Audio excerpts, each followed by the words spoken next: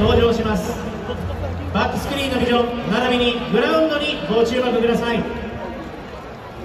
それではお待たせいたしました。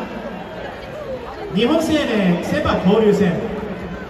阪神タイガース対北海道日本ハムファイターズ2回戦。まもなく開始でございます。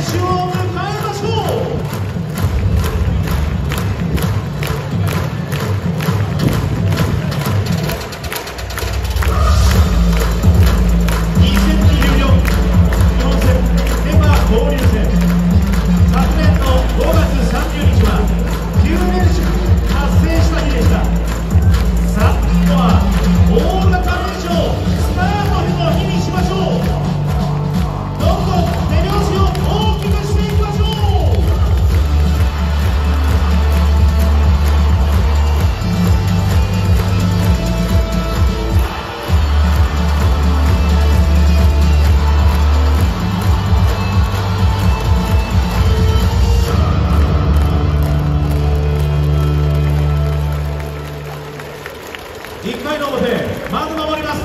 阪神タイガースのメンバーをご紹介いたします。